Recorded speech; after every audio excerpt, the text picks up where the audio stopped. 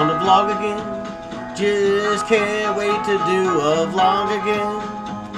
The life I love is making vlogs for my friends, and I can't wait to do a vlog again. Doing a vlog again. Going places that I've never been. Seeing things that I may never see again. And I can't wait to do a Hello, everyone, and welcome back to the Top Vloggers. As always, I am High and Mighty Joe hanging out with, The lovely cat. and boy, have we got a vlog for you today. Today, we are going to take you to the childhood home of Rupert Boneham. So let's go to his childhood home and we'll learn more about him. We'll see you there.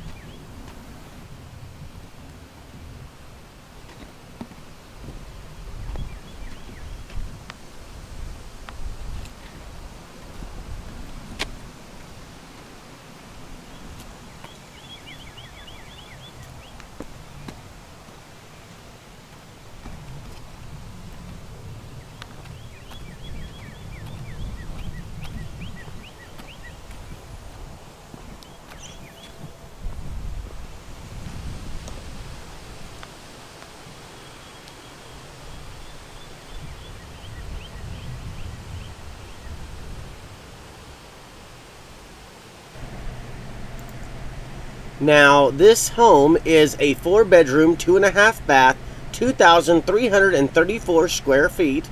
Uh, it was built in 1978. It, for, it contains four bedrooms and two and a half bathrooms. And uh, it is estimated at about $174,200, uh, which uh, is not bad. They have central air, uh, attached garage, uh, heating, and other things like that as well. Um, but I guess it's most known for being the childhood home of Rupert.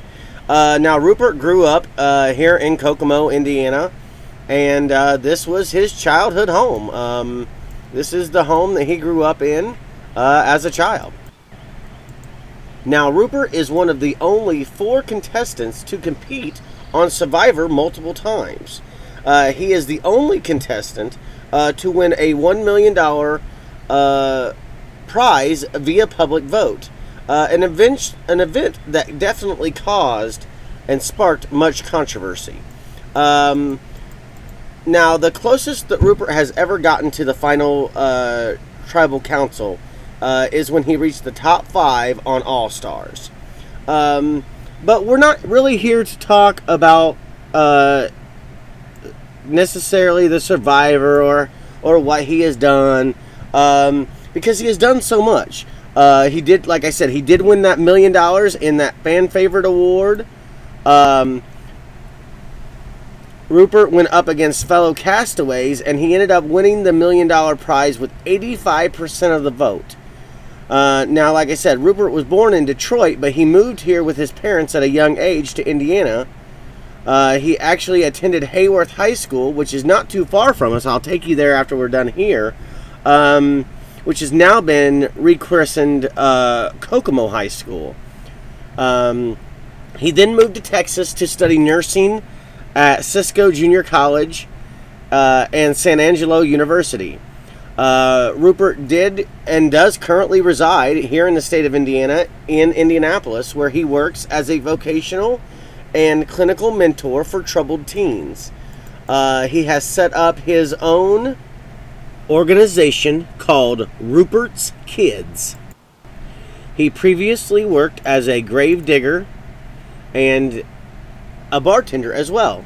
His hobbies have included scuba diving, camping, and coin collecting. His favorite sport is racquetball. Uh, shortly after his Survivor appearance, Rupert br- briefly appeared at charity events sponsored by the Indiana Ice and Hardee's. Now, in 2004, he appeared as a stable hand named Paul in the Big My Little Pony episode, the third season premiere of the TV series Half and Half. Uh, in 2006, he appeared in the independent movie Open Micers. He has also made a cameo appearance as a homeless man in the Radford Reshuffle, the sixth season premiere of the show Yes Dear. Uh, Rupert has also made appearances as an extra in a bar fight scene uh, in A Million Ways to Die in the West, uh, and so much more. But Rupert and his wife Laura uh, competed on the 31st season of The Amazing Race. Now, of the over 600 contestants that have competed on Survivor, Rupert is the sixth most often occurring contestant in the show's history. He appeared in four separate seasons and for a total of 104 days, but he never made it to the final three. Now, prior to his time on Survivor, Rupert worked as a mentor for at risk kids. Uh, we have already dis- uh, discussed this. He created Rupert's Kids. Um, which is geared towards helping youth and young adults become active members of society.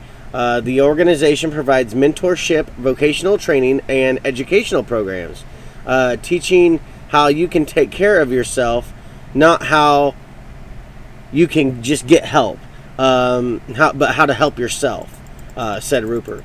Um, he, uh, he he mentioned that in an interview that I uh, that I was reviewing for this for this vlog, and that just, just kind of stuck out in my mind. It's it's he's doing this not not just to help them, but so they can eventually help themselves. Um, now, Shelbyville may seem like an unlikely home for Rupert's kids, but its founder says the community was well was welcoming and needs help as much as any big city. Rupert also said that it might only have 20,000 people, but it's a good cross section of America. It's what's going on across America. The opiate addiction, the drug addiction, the alcohol addiction are running rampant in small towns, said Rupert.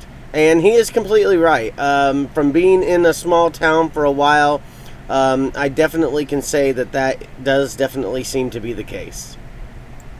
He also said the young men and women that we work with are not hardened criminals.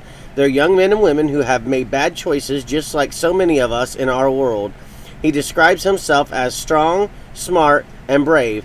He is most proud of becoming independent and self employed and being able to care for his family while not having to live the 9 to 5 world. He believes his competitive advantages on Survivor and his abilities uh, to be a team player uh, has helped him in all of this.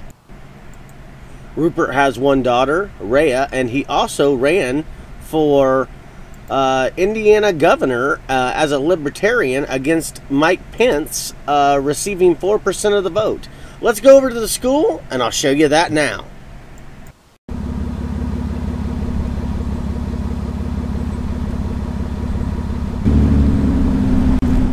Well, now here we are at the high school of uh, Rupert Boneham uh, on a kind of a different note, but. Um, coincidental fact that my mother also uh, went to this school and graduated from Haworth as well before they changed to Kokomo High School. Uh, and I went to uh, the Career Center, which was a, a, class that you could go to half a day to learn uh, different things, which is where I learned about television and video production, uh, which has definitely helped me in my YouTube channel as well. Uh, so I learned that right here, and I went there for two years my uh, junior and senior year. So it was always nice to be able to see these things. As you can see, there's the Kokomo Wildcats. I believe this is where the band is, uh, goes in and uh, has a lot of uh, practicing and, and, things like that. But yeah, this is uh, now Kokomo High School. It was once called Haworth High School. Um, but it, yeah, like I said, it's it, it's now uh, Kokomo High School and the Kokomo Area Career Center. So I'm going to go ahead and uh, finish up taking you around here, and we'll see you when we're done.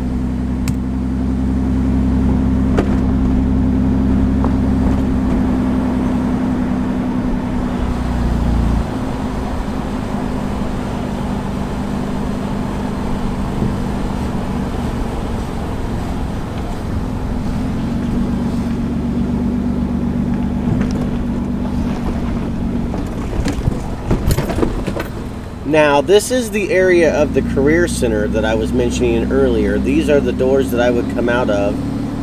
And then there's a double set of doors and a big set of doors up here up front that we would go into when we would go to our vocational classes. As I said, the Kokomo Area Career Center helped me tremendously. I learned a lot of valuable lessons, not just in life, but in the way things are done in entertainment. And it was a huge success for me. And like I said, it has helped me on my YouTube channel as well. So that is definitely a big thing for me. I would recommend anybody that gets a chance to go to the Career Center to go ahead and go there because, like I said, it definitely helped me out uh, quite a bit. Well, thank you so much for joining us on this vlog. I had a really fun time. I hope you guys did too. It's always nice to see a little bit of uh, history and uh, a little bit of uh, learning about someone, uh, especially when they're from your hometown. You can join us on all of our social media websites, Facebook, Twitter, and Instagram at The Top Vloggers. Also, if you would like to help us reach the top, you can do so by going to www.patreon.com backslash The Top Vloggers. Without your help and support, these vlogs will be almost impossible to do. And that's going to do it for us here today. Until next time, Top Vloggers.